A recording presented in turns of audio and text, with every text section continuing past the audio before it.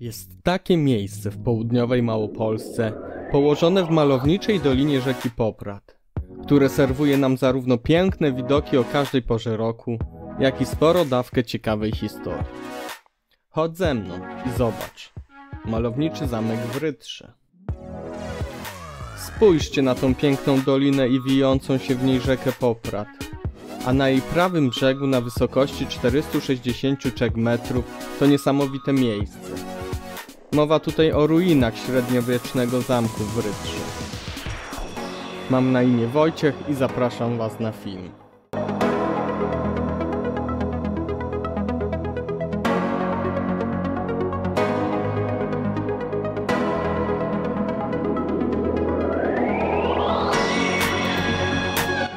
Dojście do zamku w Ryczy zajmuje około 15 do 20 minut z pobliskiego parkingu. Prowadzi tu również ścieżka rowerowa. Trasa nie jest trudna, dlatego dla dzieci będzie idealna. Spokojnie można dojechać wózkiem. Wstęp na zamek jest bezpłatny, otwarty codziennie od świtu do zmierzchu. Po drodze umieszczone zostały tablice informacyjne na temat zamku. Warto je przeczytać dowiedzieć się czegoś nowego.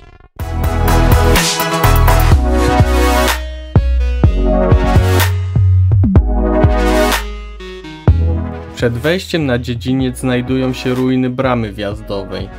Jednak władze gminy dążą do jej odbudowy, co na pewno doda jeszcze większego uroku temu miejscu. Najwcześniejszym elementem była cylindryczna wieża zbudowana z piaskowca o średnicy 9,5 metra. Jej mury u podstawy miały 3 metry grubości, a otwór wejściowy znajdował się niemal 6 metrów powyżej poziomu dziedzińca. Pierwotnie można było dostać się do niej z drabiny, a później z drewnianego ganku na murze obronnym. Był to typowy przykład stołpu.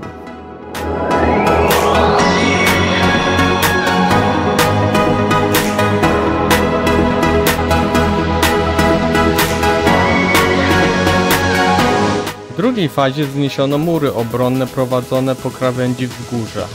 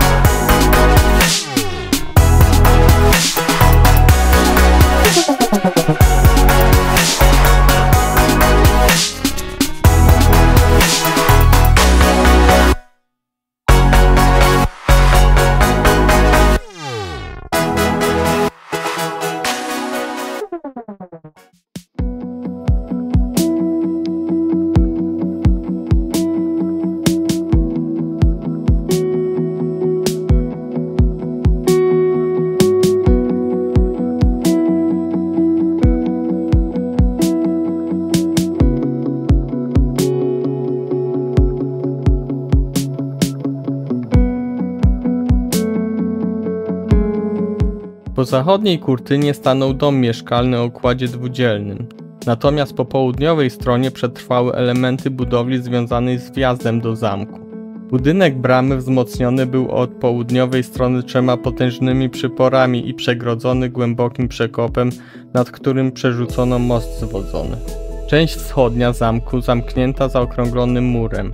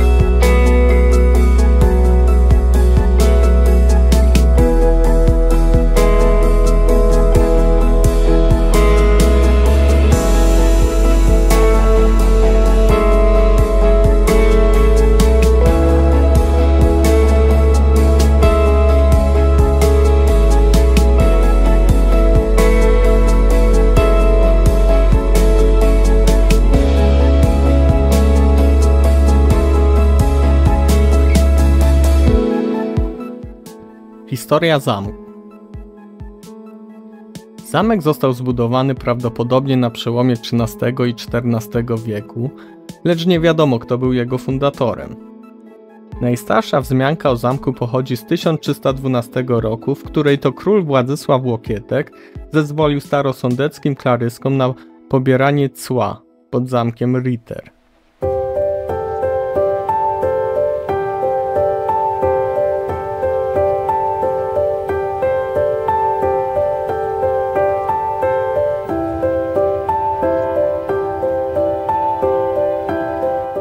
Od początku XV wieku pozostawał w rękach dzierżawcy Jakuba z Boturzyna, a po nim przedstawicieli rodu Toporczyków.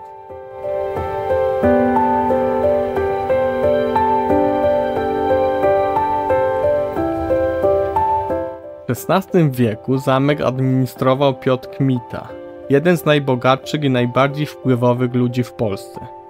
Prawdopodobnie jeszcze za jego rządów Około połowy XVI wieku zamek spłonął w niewyjaśnionych okolicznościach.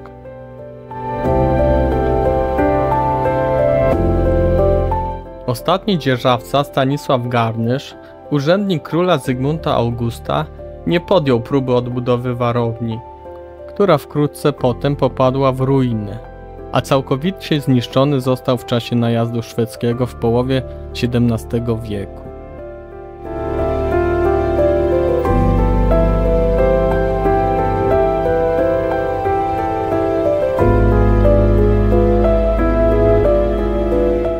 Zamieszczonych tutaj fotografiach możecie zobaczyć jak ruiny zamku prezentowały się w poszczególnych latach.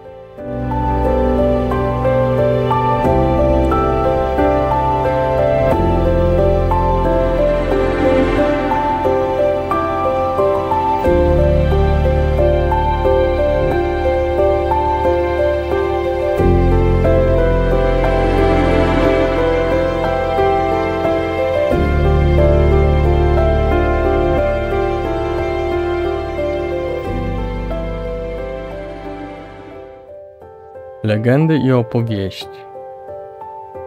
Jeszcze ciekawsze niż fakty są legendy związane z tym miejscem. Znajdziecie wśród nich opowieści o skarbach i o zamkowych duchach.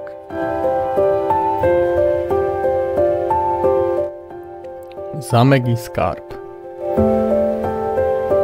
Ta legenda wiąże się ze wspomnianym przez Jana Długosza gospodarzem zamku, kasztelanem sądeckim Piotrem Wyczką. Podobno wierzył on w istnienie żyły złota w skałach, na których stoi zamek. Zmuszał okoliczną ludność do niewolniczej pracy przy wydobywaniu grudek złota i ukrywał je w podziemiach twierdzy. Na koniec chciwy kasztelan rozkazał zabić wszystkich pracujących dla niego poszukiwaczy złota, aby nie wydali, gdzie kryje się złoża i skarb. Późniejsi gospodarze podobno usilnie poszukiwali ukrytych skarbów, przez co przyczynili się do zniszczenia samego zamku. Legenda o Bojomirze Bojomir to jeden z głównych gospodarzy zamku w Rycze. Mieszkał tu z żoną i synem i oswojonym niedźwiedziem Bartkiem. Kiedy Bojomir wyjechał walczyć z krzyżakami, ich wysłannicy napadli na zamek Zabili żonę i uprowadzili syna. Rozgoryczony Bojomir mścił się na wrogach.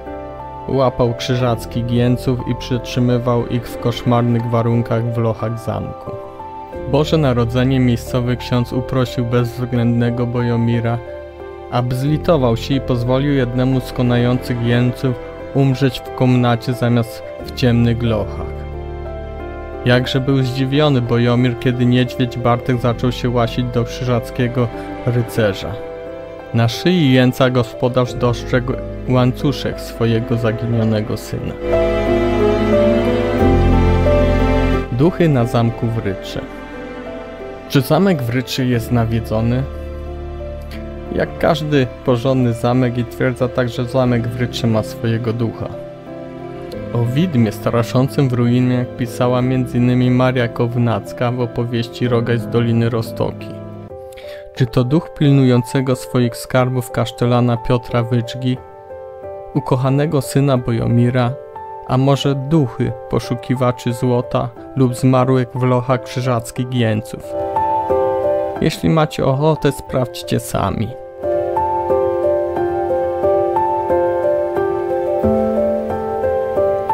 Tymi pięknymi widokami żegnam się z Wami.